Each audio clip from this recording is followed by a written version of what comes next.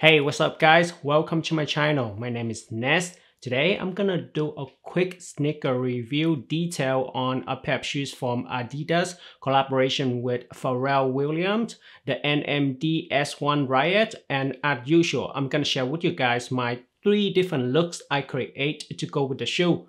Let's go.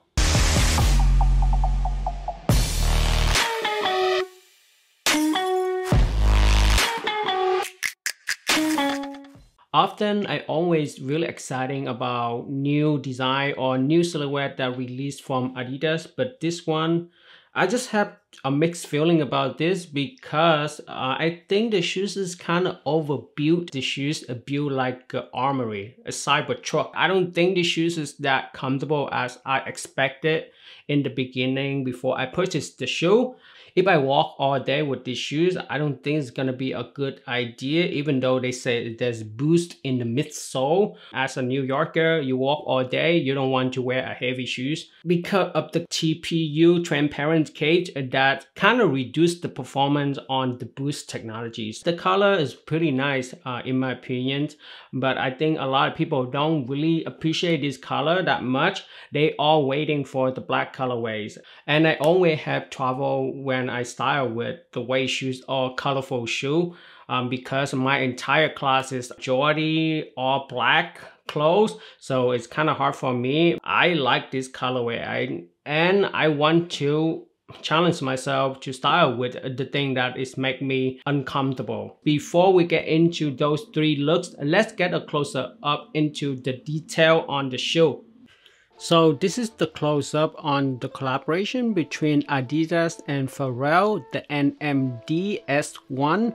RYAT. Let's talk about the tooling because the tooling is actually make me the most exciting when I purchased the shoe. Um, this shoe give me some height actually two inches height uh, because you see this kind of very junky also and uh, this notch the yellow and the blue is inspired by the original NMD. Yes, they got inspired from the original NMD, but this notch is actually is not functional compared to the original NMD. But aesthetic wise, it look pretty cool, you know, futuristic looking shoe. It look like jello, make me want to eat them. When you look at the top down view, it's even better looking detail in the lateral size and in the medial size.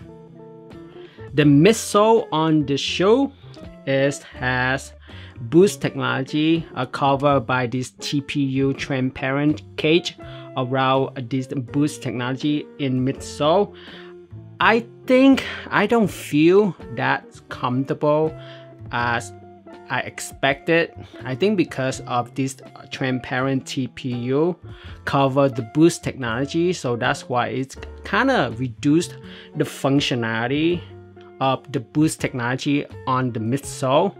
And in the back of the heel drag, you can see there's a carving of the Adidas branding. And this also detail traction is really nice. I love how they used trefoil to create the traction on this outsole. That's pretty cool, isn't it? And you see all the holes right here, right? The perforation hole. Uh, first is to reduce kind of the weight on this outsole. And the second, I think, they are more like a marketing purposes um, to able for you to see there's a boost technology underneath this outsole. Let's go into the upper. First, I love the color pink laces, reflective, um, pretty nice. And they come with the extra laces white color for you to choose. You know, if you're really into white, then yeah, you want tonal on this upper, then use this white. But to me, the pink color laces is good enough. I think it's more exciting when you look at the shoe, you know, a hit of the pink. And the most iconic detail on the shoes is this eye stay. The rubberized eye stay uh, overlays. Underlay is the pop color, the sky blue in the back and the yellow in the front. It's match up with this color notch on the midsole. Even cooler that you can play around with this lacing system because the hole right here you can just insert the laces customize your own laces. That is pretty cool because everybody have the different aesthetic. So the shoes feel premium to me um, because the leather that they used on the Vamp eye stay and the heel counter feel like a heavy duty. It's pretty thick leather that they use on this. And even the nylon material in the quarter and in the tongue is feel heavy duty you know with the embroidery of the branding from Pharrell. And in the back they have a piece of like very pop color green webbing for the heel pull this green color I just feel like it come out in the middle of nowhere you know doesn't really go anywhere that form this color palette on the upper and the outsole but hey it's kind of cool you know go pretty good with the entire look you know with a pop of green. And they have the mud guard all around because the shoes is inspired by the outdoor hiking shoe. So that's why you see transparent mud guard all around. And if you look it into the lining is full length leather on the tongue and um, on the top line they used leather around the collar very well padded feel comfortable and snug fit around my ankle when I wear the shoe.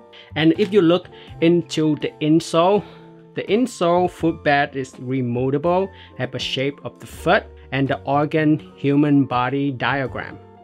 That's pretty fun, you know, it's go pretty well with the theme human race. And also the sizing on this is it fit to two size.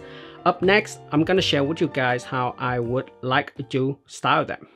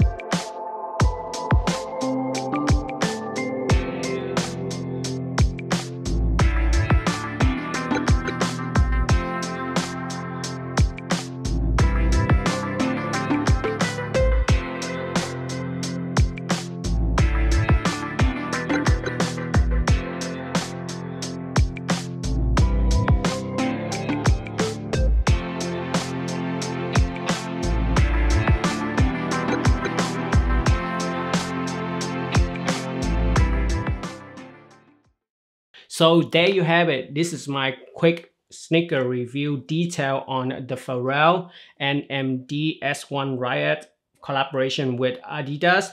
And as usual, I create three different looks to go with the shoe. I think the shoes is okay, but the pricing is a little bit pricey in my opinion.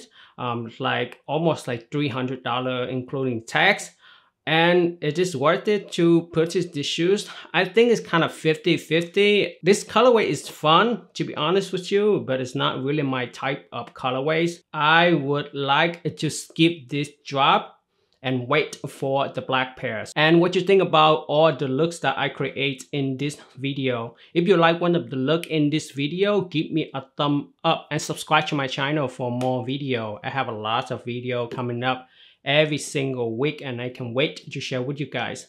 I'm out.